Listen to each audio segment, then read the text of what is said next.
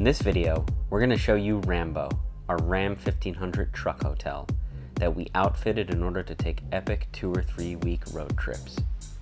We are often stopped in parking lots of restaurants, parks, campgrounds, breweries, and truck stops if people catch a glimpse of us opening up the back. And we finally decided to take you all on a tour and show you how we did it. We originally had a 17 year old Toyota Corolla we would use to travel, stuffed with tents and clothes and other camping gear. It wasn't until a trip to the Everglades at the end of 2016 that we decided, okay, these mosquitoes really suck. In this particular video, we're on a weekend getaway in the Catskills and aren't fully loaded like we normally would be for a long trip. We like to keep the front of the truck where we sit as minimal as possible. When you're traveling a long time, you want your space, as a driver or as a passenger. This is our center console. We like to keep just a few things in here, like napkins, an inverter, small knife, whatever. On the left, you can see our USB plugins, so we keep this open to be able to plug stuff in and keep it in there. It also serves as a nice flat surface to use for our cutting board and eat cheese and crackers.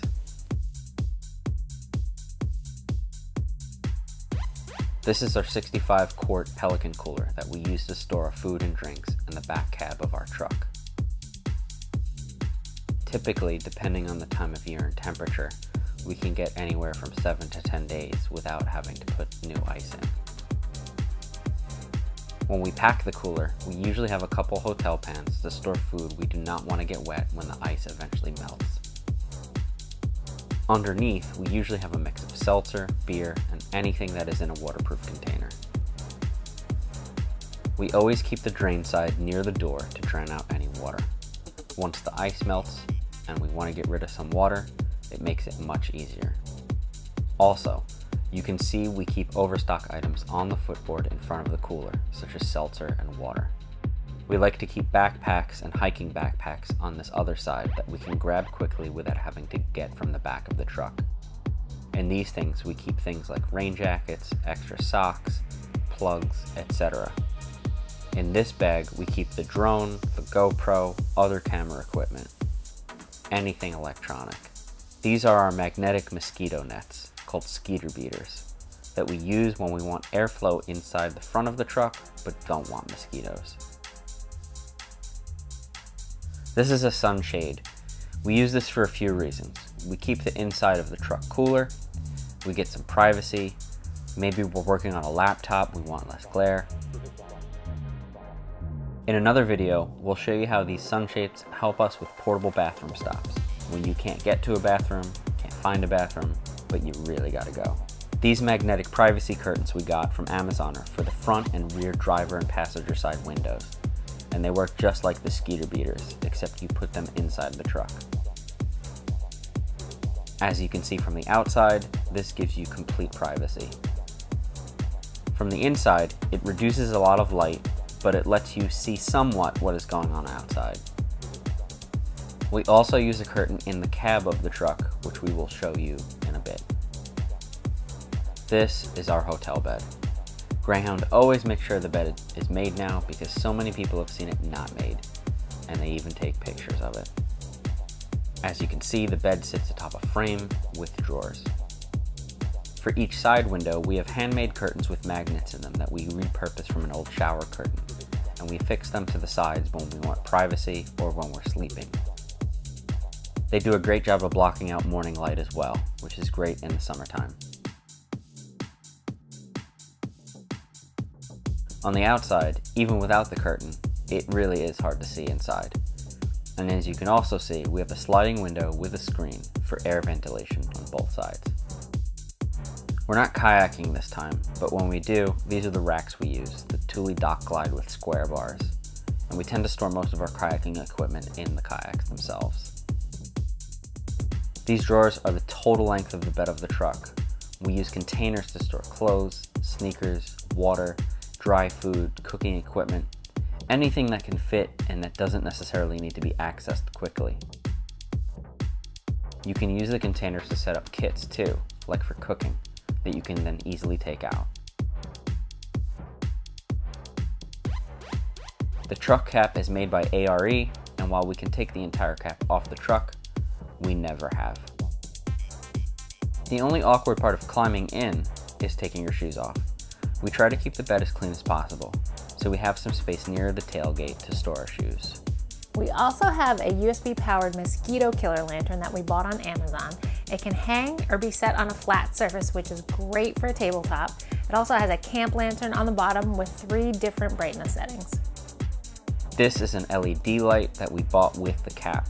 It has three settings, on, off, and automatic when we open it. We found magnets to work the best for hanging the curtains, since an adhesive strip attaching to Velcro did not work very well, and the strip just ripped right off. This is our 3-port cigarette lighter 12 volt battery block. Here we plug in our phones to charge and electric blankets in the colder months. In the hotter months, we use this portable oscillating fan. We bought the blankets and fan on Amazon, but you can find any of these items at a truck stop. We also use the fan in the front when the truck is off. We have four cubby holes in each of the corners of the bed to store clothes, shoes, glasses, phones, etc. The tailgate of the truck has a bed liner with some naturally fitting places to enjoy an adult beverage. In the bed of the truck, we also have cup holders to be able to enjoy a drink. We store these flat in our cubby holes and clip onto the railing when we want to use.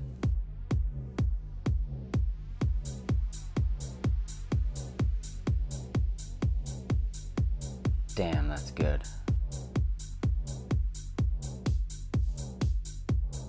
This is the platform and drawers we built that we made using mostly scrap wood. We ordered a custom sized wool mattress from Shepherd's Dream that we love. It's super comfortable and fits the space perfectly. It's a couple inches shorter than a standard queen size mattress. We use queen size sheets and two separate twin size duvets because otherwise Magellan would take all the covers and roll up like a burrito in them. We roll up the bed and store it in our house when we don't need it, and usually keep the platform in the back by itself so we can transport anything else we need on a day-to-day -day basis. Let us know if you're interested in a step-by-step -step video on how to make this platform. A couple other things too. This is our shower pop-up tent that we use to shower and also go to the bathroom. Stay tuned for those videos. And that's it. This is Rambo, or as we like to say sometimes, the Hotel Rambo. Saved us tons of money from staying in a real hotel or motel, or places where there aren't any. This truck has gone everywhere with us, minus overseas and we hope to inspire you to travel with less requirements in order to see the things you want to see. We love our home and we prefer hotel beds too, but we aren't willing to let not having a hotel stop us from exploring the more remote but amazing and beautiful places of this nation. This is Magellan. And this is Greyhound. If you enjoyed this video, give it a thumbs up. For more epic road trips, kayaking, hiking, and other outdoor adventure videos, please subscribe to our channel. We'll see you on the trails or in the water.